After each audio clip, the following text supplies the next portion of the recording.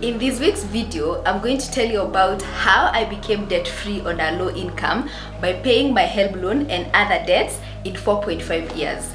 My name is Agatha from the Wealth Tribe and this is where we learn how to build wealth together.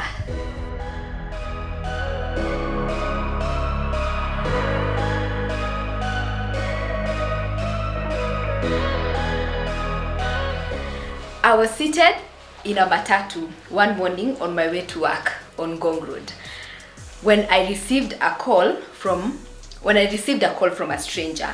The person identified themselves as a debt collector. And so they asked me when I was planning to pay back their debt. I had a loan from one of the mobile money loans. I had many loans from the mobile money loans. And so he was specifically calling to ask me when I was going to pay back the loan from their specific company. I told him that I didn't have the money and so I couldn't pay that morning. He told me that he needed me to pay that that money that morning, the money that morning or pay it within that week. I told him I didn't have the money and so he told me that wasn't his problem. Uh, it wasn't his problem where I was going to get that money. All he was interested in is that I pay the money either that morning or within that week. He gave me a deadline. Um, I insisted that I did not have the money. So he told me, see, I know where you work. I know who you call often. I know where you live. I know the route you take on your way to work. I have access to all your messages. I have access to all your contacts. So if you do not pay this money, if you don't pay back this money by the end of this week, we're going to track you down. And I remember feeling, what? I remember experiencing a very, very sharp pain in my stomach. Um, I remember sweating, my arm, my palms were sweating, and I remember feeling very, very scared. I remember thinking, how had I gotten myself there? And why why was I receiving a life-threatening call on a Monday morning on my way to work as opposed to receiving a normal call? That was mid 2018. And the question is, how did I get myself there? That's what we're going to be talking about this week.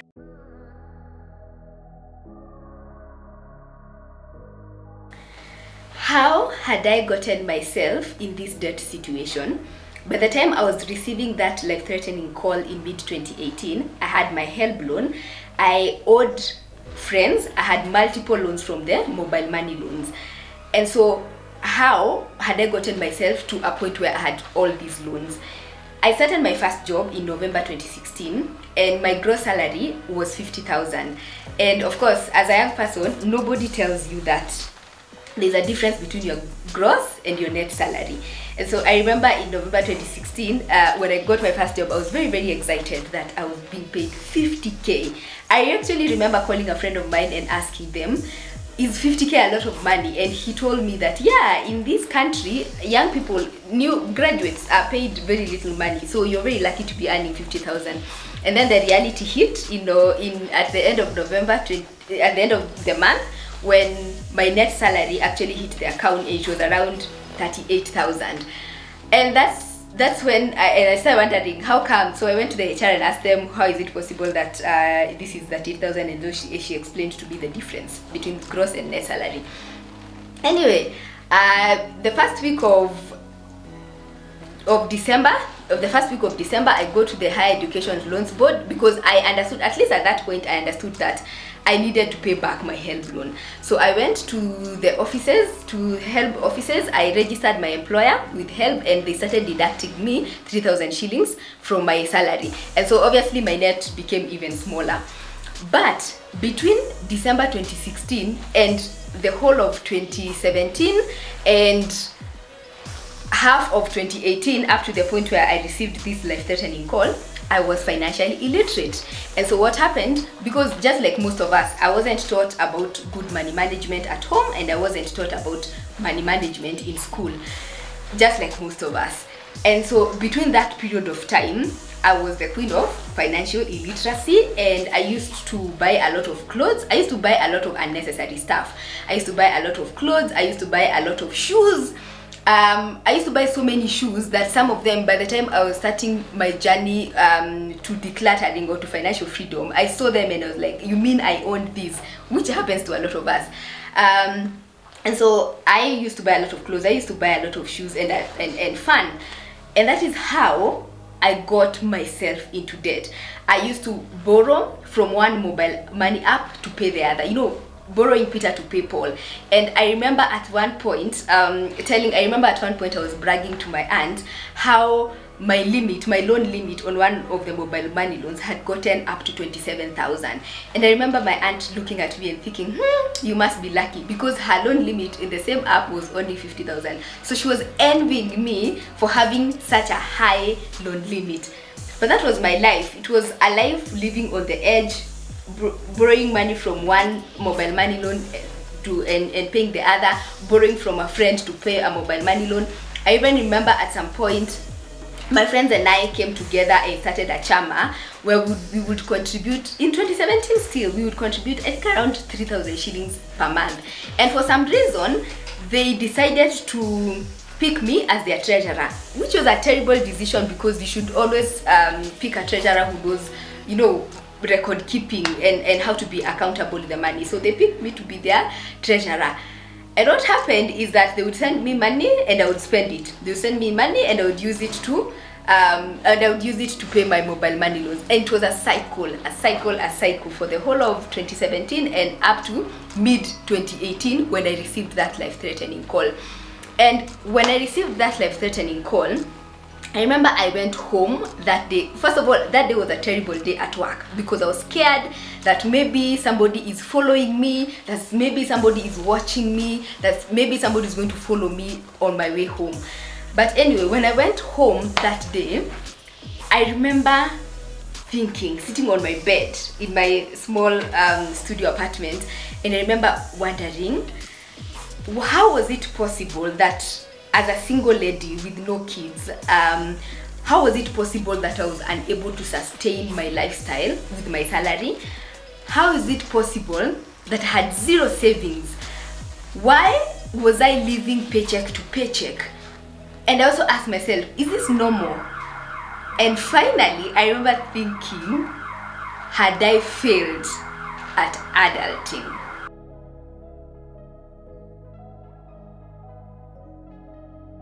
Since I had registered my employer with HELB and that time I had a permanent job so between DEC 2016 and November 2018 I was being deducted 3000 shillings every month from my paycheck that went to, towards paying my HELB loan.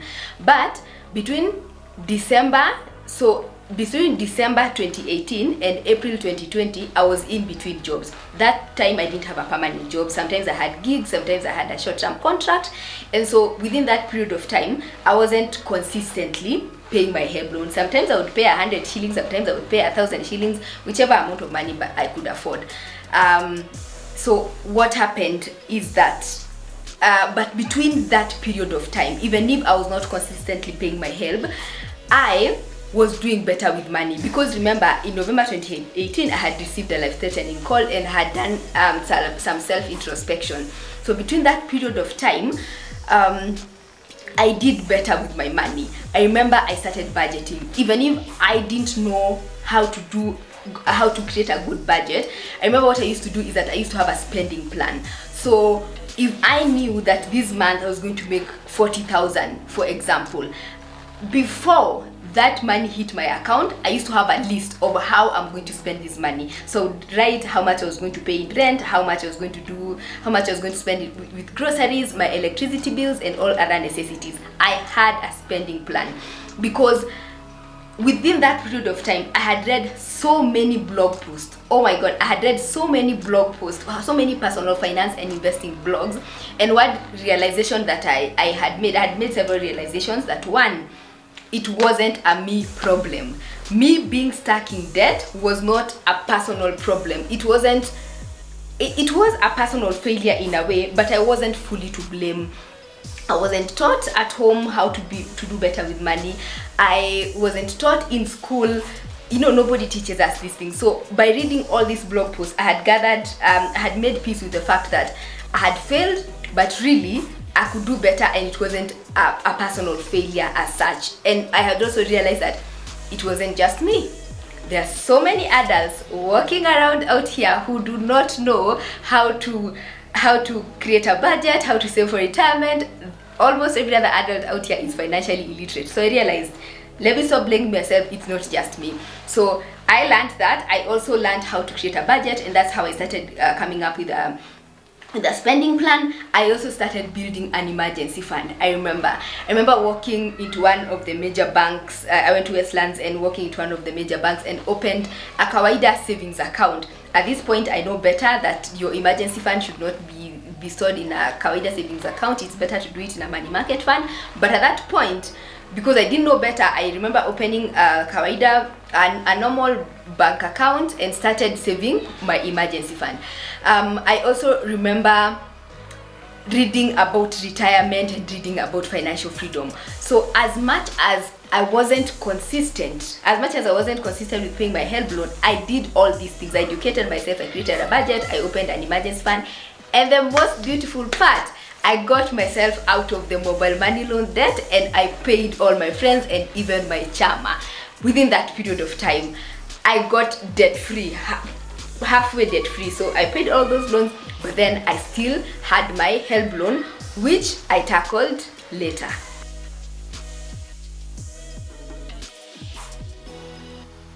Since I had finished paying all my other loans, my mobile money loans, money I owed to friends, I still had to tackle my HELB loan. So this at this point it was in May 2020. Uh, at this point I was living in Dubai. I had a good job, and at this point I was also I had I had started documenting my financial freedom journey on my on my blog, The Wealth Tribe, and. I, a short story of how I started documenting my story on the Wealth Tribe. So when I realized that it is not a me problem, that being in debt is not an Agatha problem, that there are so many other adults who are even older than I am and who are not good with money, I decided let me start documenting my story, let me start documenting my financial freedom journey or my financial literacy journey so to see if there are other people out there who can benefit from this story. And so I started writing the articles and I would share them with my friends and my friends would ask me, Hiya, I also didn't know this. How about you write to me about uh, financial freedom? How about you write to me about creating a budget? How about you write to us about savings? And that is how my blog came, be, came to being from January 2020. And so in May 2020, I went back to consistently paying my HELB loan. In fact, at that point, I could pay back as much as 10,000 Kenyan shillings per month.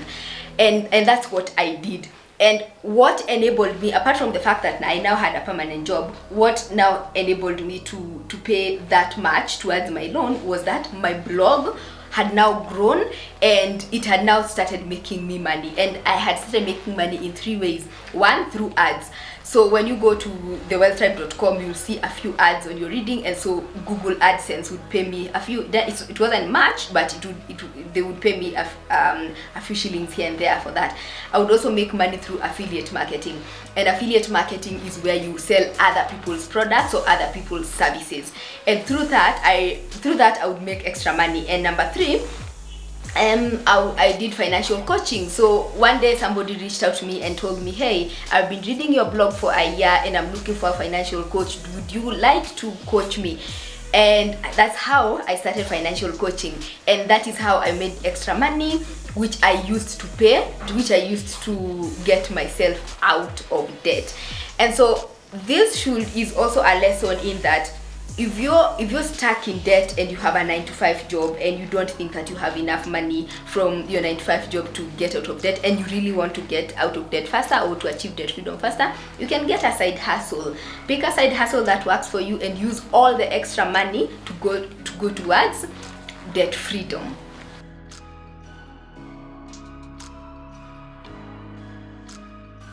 How much in total did I pay to the Higher Education Loans Board?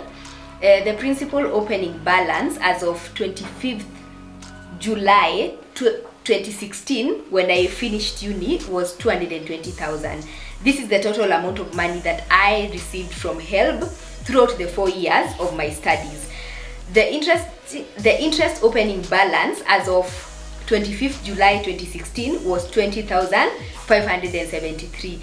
As you can see, uh, the government started charging me interest even before I graduated. And I always wondered why until I went to the HELB website and on the HELB website they state that one of the loanee's obligations is to to start payment after a period of one year on completion of studies or within such a period as the board may decide to recall the loan whichever is earlier. Um, and you know i wish they gave us a grace period of that one year to secure a job you know before they start charging charging us interest.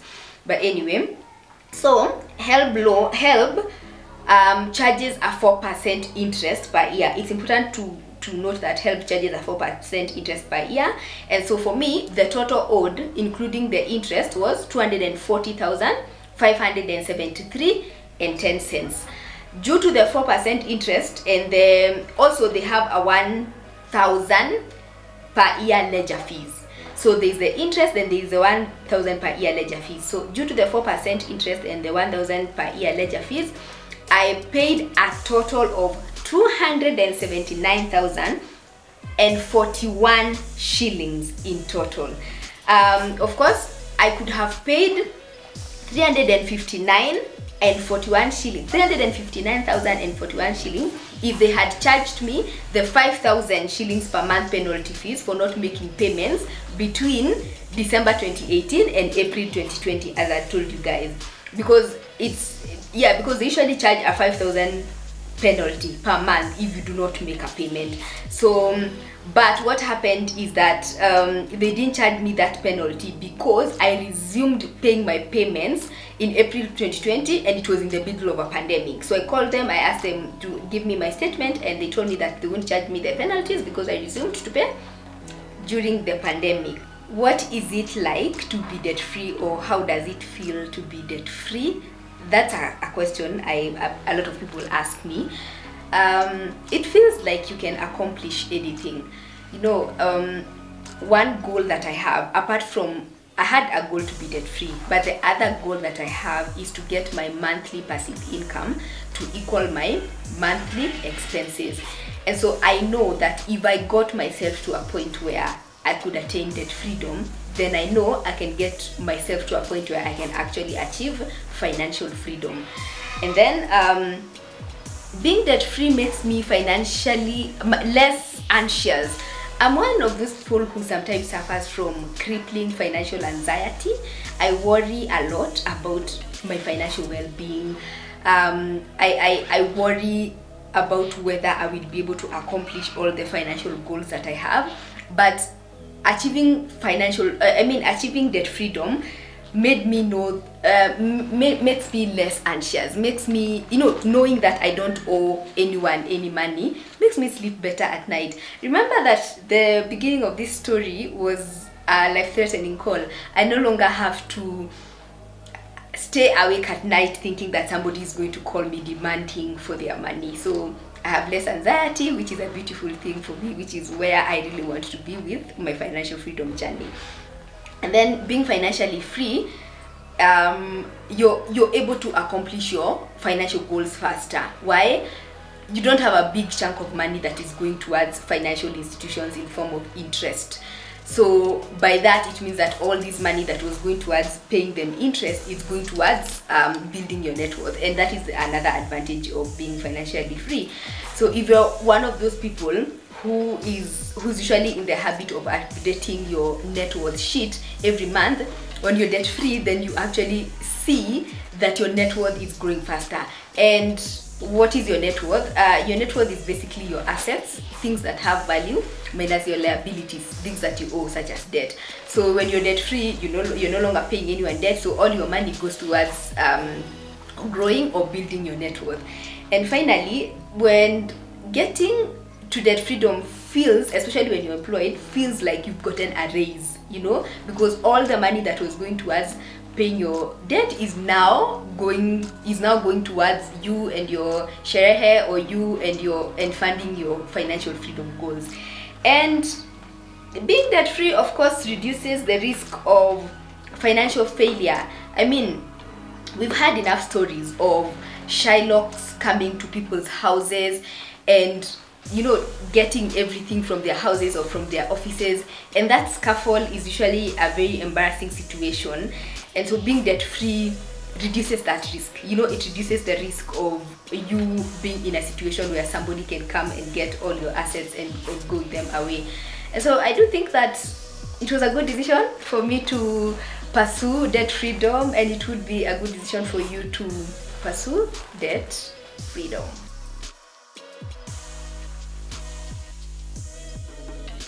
what should you do after paying all your debt or after attaining financial or after attaining debt freedom?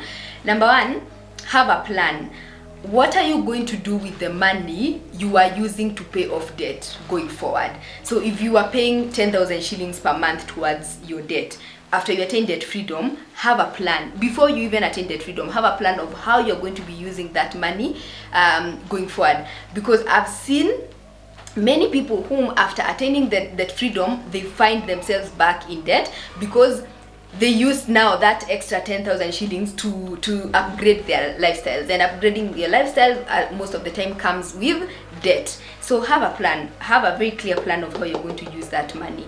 And the reason i say this is because i am very aware that you know we live in a world that easily sucks us back into debt. You know we live in a world where you want to keep up with somebody or we live in a world where even the systems that we exist in for example um, are not good enough for us to be financially independent. They do not support financial freedom. You i mean we've seen all the number of harambes that goes on in our whatsapp groups and all that. So none of us including i despite attaining debt freedom is immune to going back into debt none of us is immune so come up with a plan. I'm trying as much as possible. Please do the same. And number two decide what is your relationship with debt going forward. Because at the end of the day debt is a tool that you can use to achieve financial freedom or debt is a tool that you can use to fund your goals. Um, there's good debt and there's bad debt. So you can go you can take a debt you can take a debt and use it to start a business for example. You can take a debt um, to start an investment one that of course has a higher um, has a higher interest than the, the loan that you took. So debt is a tool that you can use to fund your goals. So be very clear with what is your relationship going forward. What is the relationship with debt going forward? And another question i often ask i often get asked is should the government do away with HELB loans? And my answer is yes. Kenyans pay taxes and for me those taxes should be used to educate our children. And as one of my favorite writers says, her name is Dr. Wandia Njoya, the government owes our children quality education and not the other way around. Our children should not have to go through what I went through to get myself out of debt and what you are going through and what many other Kenyans are going through to get rid of student loans.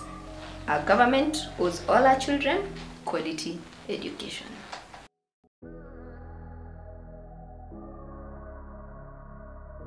Being debt free doesn't make you wealthy. I am not. In fact, I still ask every day, God, when? Uh, but I do hope that by listening to this story, you've learned that being debt free is not something reserved for the rich.